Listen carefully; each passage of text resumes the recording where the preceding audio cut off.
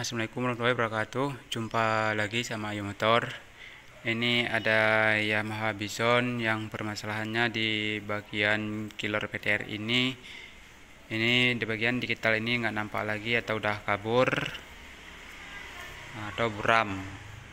Ini permasalahannya di bagian polarisernya Atau lapisan kilometer ini yang jadi permasalahannya ini penyebabnya biasanya terjadi uh, terlalu panas uh, atau yang sering kena air. Nah, kita coba lihat kalau kita hidupin yang tadi permasalahannya ini.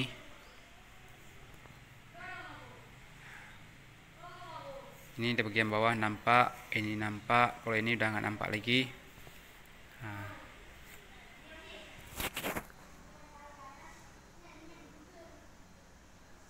Nah sekarang kita akan buka kilometer ini untuk ganti polarizer atau lapisan ini yang rusak.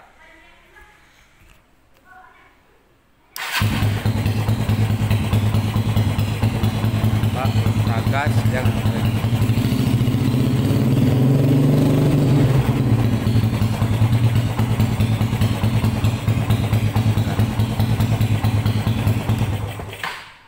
sekarang kita buka ini dulu dan ganti laser ini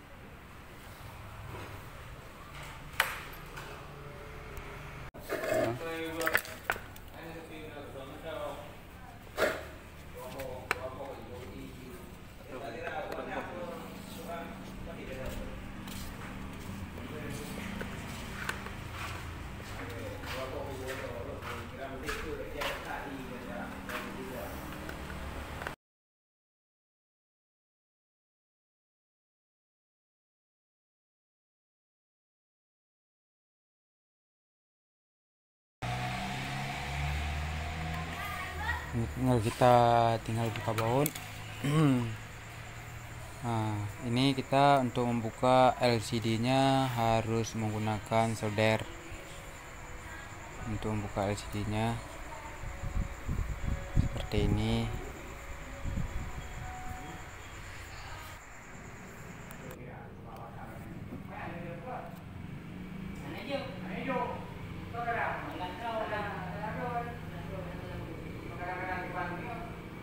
vô đây là, là, là, là, là, là, là, là, là.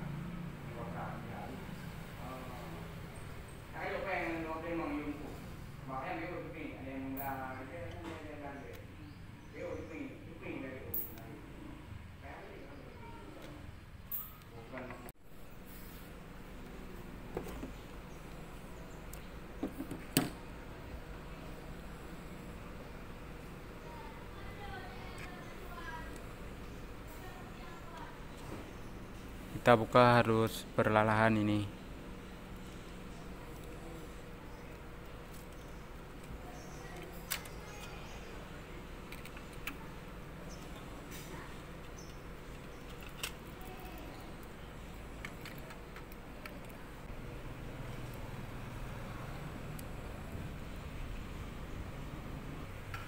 Kita buka yang dari bagian belakang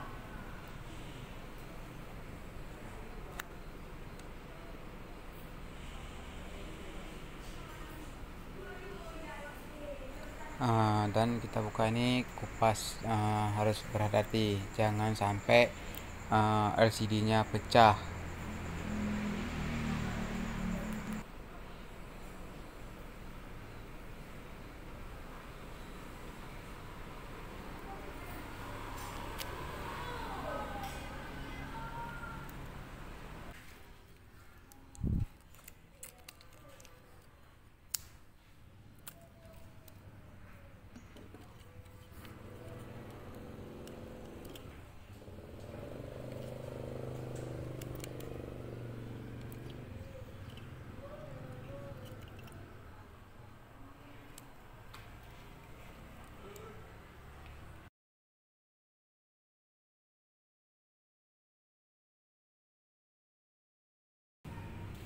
ini yang udah siap kita bersihin. Nah, sekarang tinggal kita coba untuk masukkan kertas uh, polizer kita lihat dulu gimana bentuk yang dia mau atau kita geser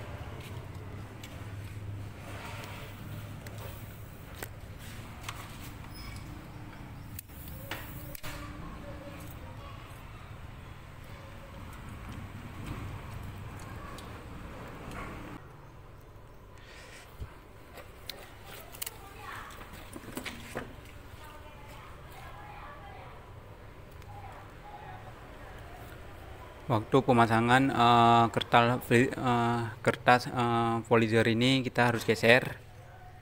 Uh, seperti ini. Dia kan ada berapa macam harus kita geser sampai dia gelap. Kalau udah gelap udah bisa. Uh,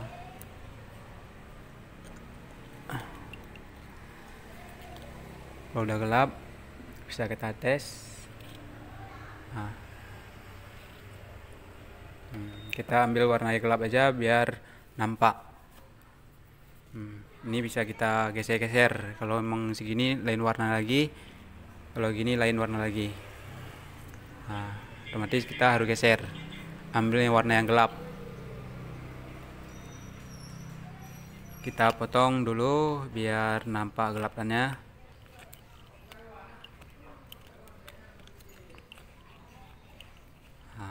di sini seperti ini kita potong biar gelap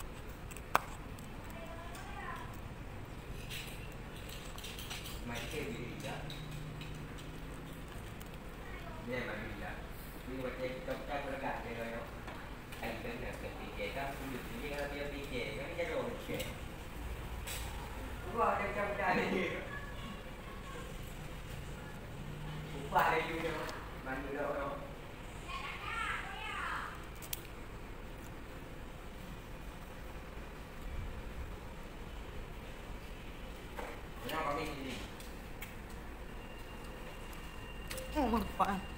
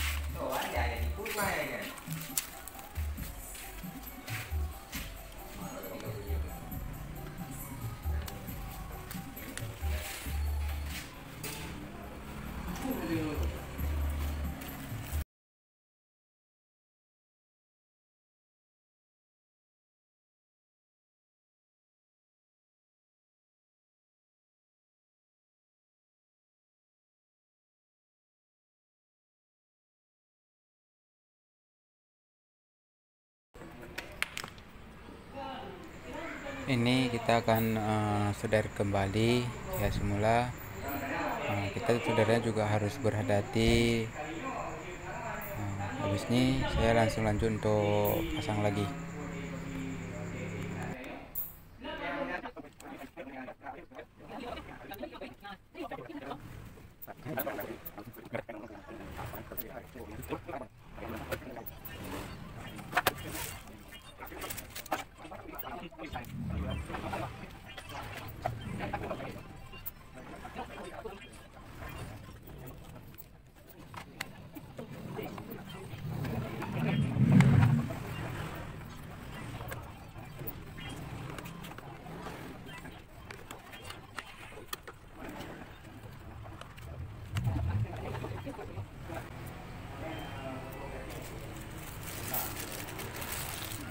ini udah siap tinggal uh, kita pasang di bagian motor.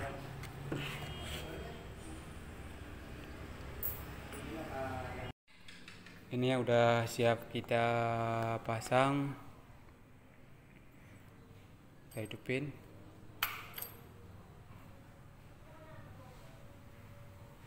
Hmm. kalau ini LCD nya yang rusak karena kemasukan air entah agak pecah. Oke nggak bersih ini udah nampak lagi. Kita hidupin dulu